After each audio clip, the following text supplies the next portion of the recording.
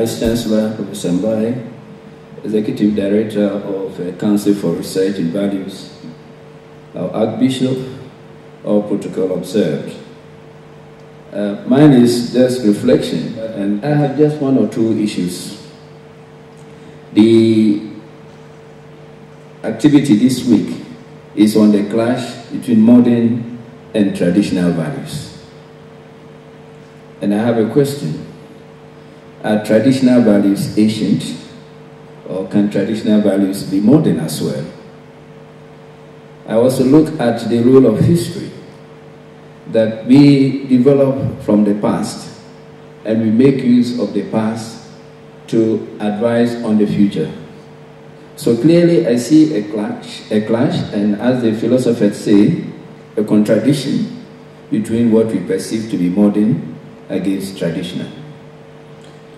I come from a society that is heavily built on traditional practices and values, which relies so much on the role of traditional leaders, right from the family heads to the community leaders, going up to the overlord, who is normally referred to as the chief or the king.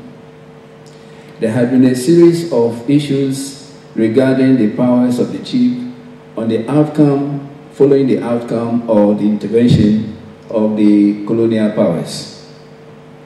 They came and started making us laws which are written. But we know in the traditional system, the laws are not written. And they are, they are passed from generation to generation.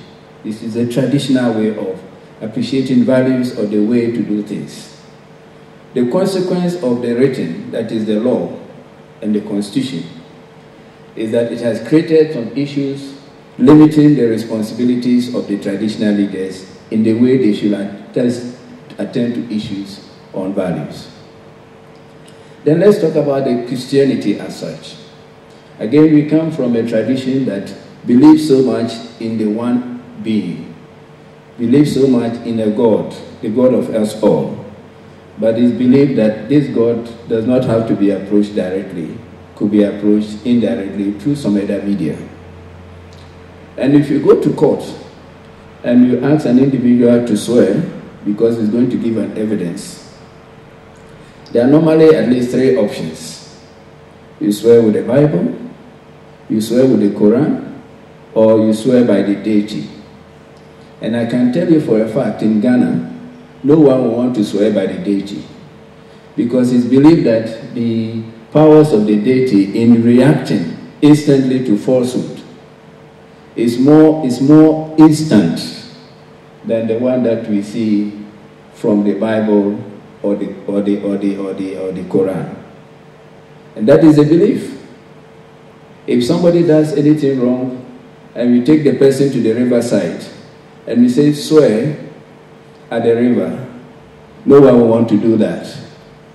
Because nobody knows what will be the consequence. And it is believed that those values, when you go against those values, the impact will not just affect you, but will affect the entire family. So clearly, I see some issues that could be of interest here as you move on. To what extent are traditional values seen as the past, seen as ancient, or to what extent can traditional values to be seen as being modern on its own? And what will this have the impact as we develop the world? I thank you very much for the opportunity to have these few reflections.